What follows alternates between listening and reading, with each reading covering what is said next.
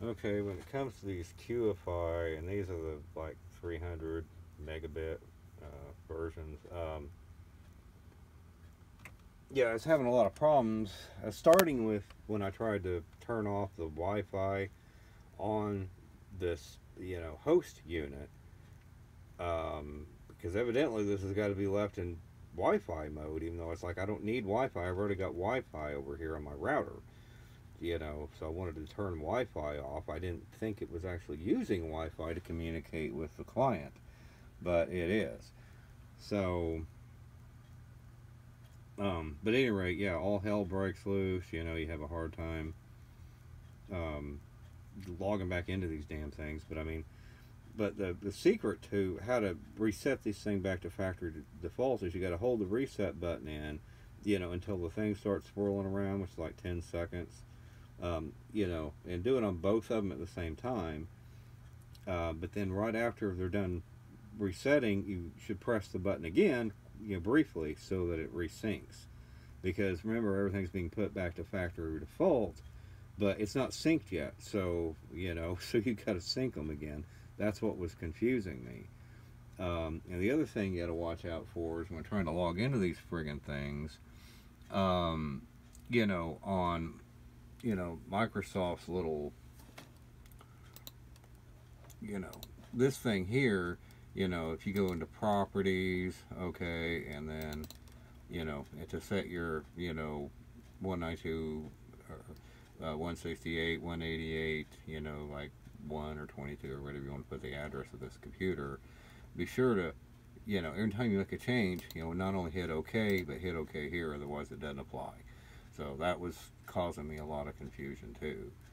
But anyway, I have a feeling that the ones that uh, I sent back probably were okay. Actually, I hadn't sent them back yet, but um, you know, but that's probably what I was doing wrong with them.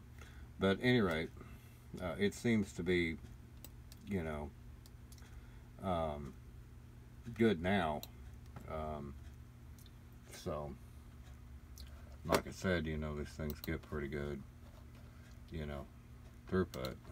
So, you know, way better than the other system I had, which, you know, is pretty good. You know, using that antenna right there and and that uh, TP-Link uh, um, external access point because that system worked. I mean, it was impressive as hell too, uh, from my perspective. But yeah, it was this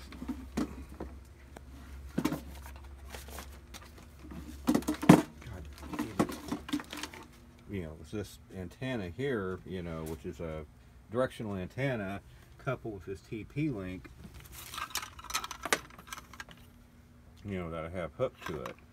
Um, this is a pretty neat device, but, you know, on its own, it doesn't go more than about 60 feet or so. We put that antenna, man, I, you know, I reached, you know, half a block away uh, with it. Uh, but the secret to it was not, you know, on its own, it didn't do very good you know, it was maybe a hundred feet if you're lucky, but you know, the key to it was combining it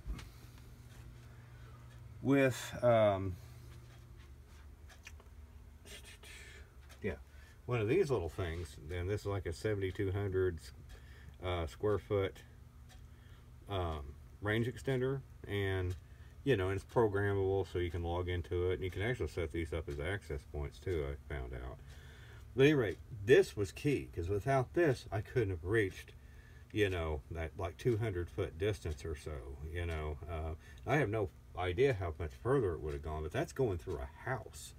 I mean, a whole house was in between where I set this antenna up, you know, and which I just casually set it up out there uh, just to do some casual tests, you know, versus clear across the street, the house clear across the street, because I'm on the alley back here so, I mean, yeah, it's a good 200 feet over there and going through a whole house.